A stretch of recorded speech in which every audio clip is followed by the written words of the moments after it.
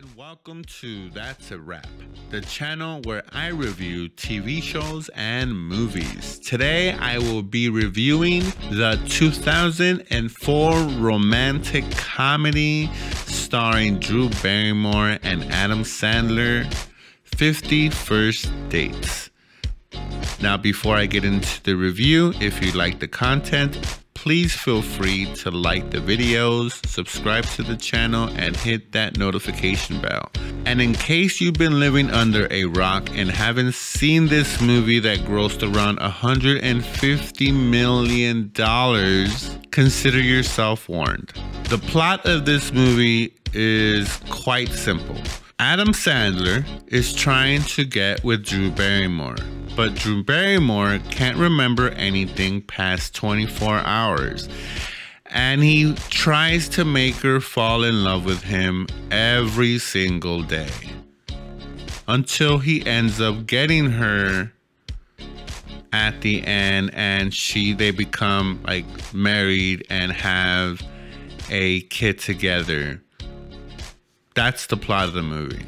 When you hear it like that, it doesn't sound so bad. The problem is is that you end up watching the movie and the humor doesn't age well.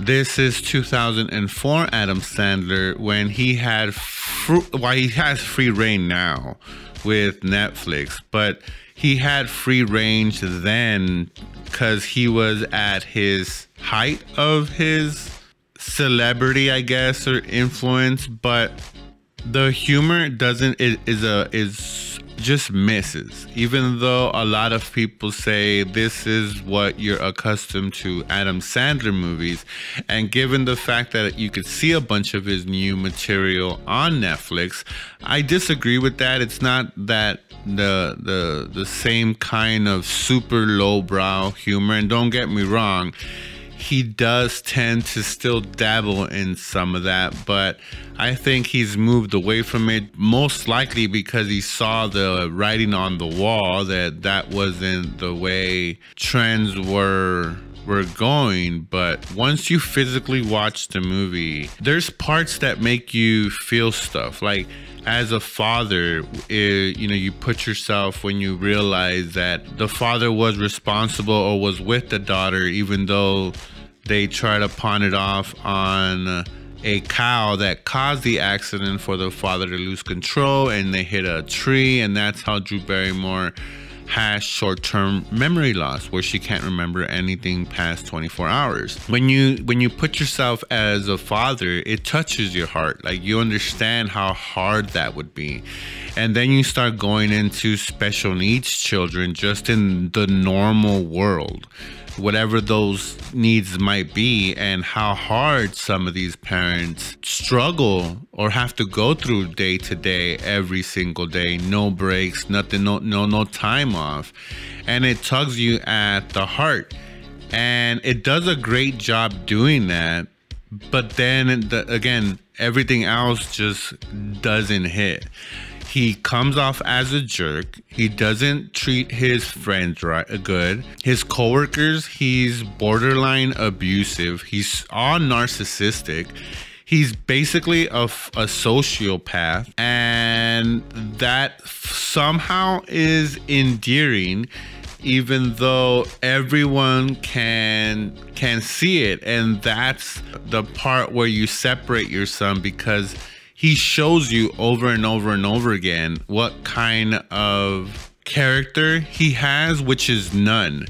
But the fact that his friend convinces him because she has short term memory and he likes to sleep with random women, hey, guess what? It's the same girl, but it's like you're sleeping with all these different women because she won't remember you or you could just sleep with her guilt free and you know that she'll never remember you anyways. For whatever reason, it's you know, it's like dangling the the forbidden fruit and once you do that, once you say no to someone, oh now I have to do it. Again, it's lack of impulse control, but yeah, I don't know how I'm supposed to feel sympathy for the the Adam Sandler's character.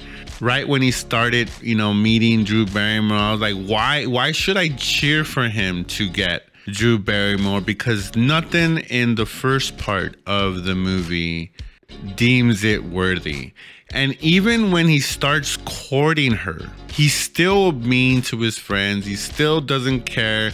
It's all self centered. It's all narcissistic. It's all like focused on on me, me, me. I want to get her. And the movie's trying to tell me that it's cute, but it's not. It doesn't come off cute. Like it just comes off creepy at at points. Towards the end, he definitely redeems himself the extent that he goes to to make her fall in love with him every day once he's fully committed. Yeah he, it's some somewhat endearing but then you remember everything else that he did throughout the whole movie and it takes me away from from cheering for him. Not to take away that I'm probably with the majority that I believe that Adam Sandler made this movie just to be able to kiss Drew Barrymore all over Hawaii because I find I don't know I don't I don't understand why this movie was made.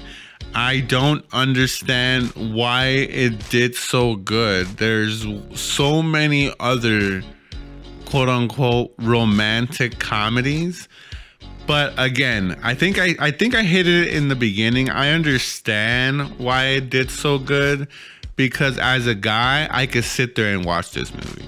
You know, if my wife or my girlfriend or significant other asked me to sit and watch this movie, I could. Drew Barrymore is stunning. She's radiant.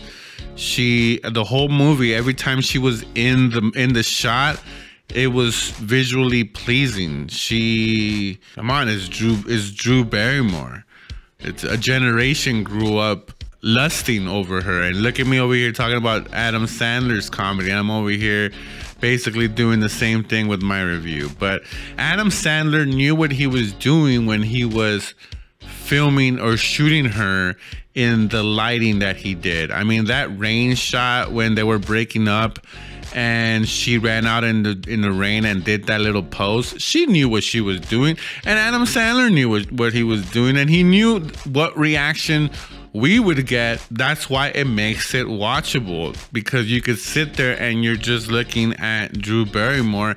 And honestly, if my my girlfriend, I I, I put myself in 2000 in the year 2004 and if my girlfriend said, Yeah, you know, I enjoy, let's go watch it again, I would watch that again. And I'm assuming that's why it did so well. It, it grossed around $150 million.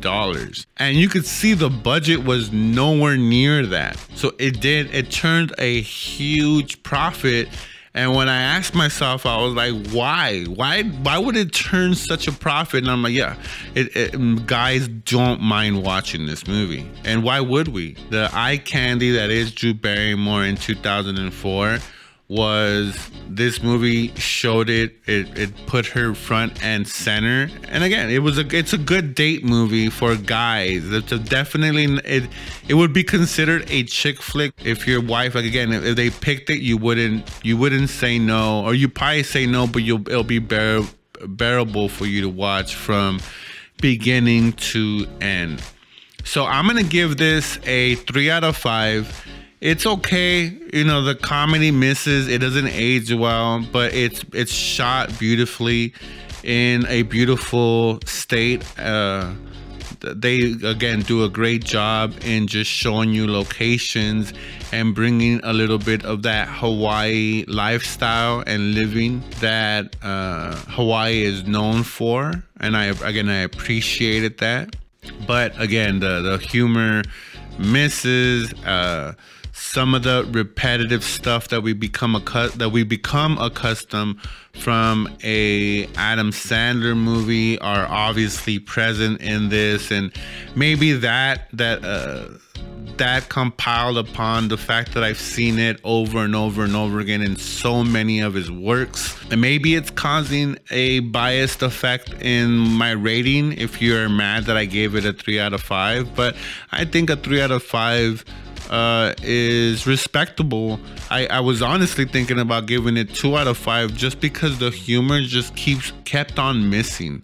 At some point, like the the last, you know, third of the movie, he it just stopped. Like he quit trying to to hit on the humor and you're okay you know it ends it ends okay at least the the the lowbrow humor there was still some of that Adam Sandler delivery, but it's Adam Sandler. You you understand that's the kind of movies you are going to get when you watch that movie. So, but towards again the the the, the last quarter of the movie, it, he the that comedy went away, and he was just trying to stick with more traditional higher brow Adam Sandler movies. So I hope you enjoyed my review. Would I recommend it? Hey, if you if your girlfriend asks for a romantic movie that you watch from beginning to end, I would recommend this.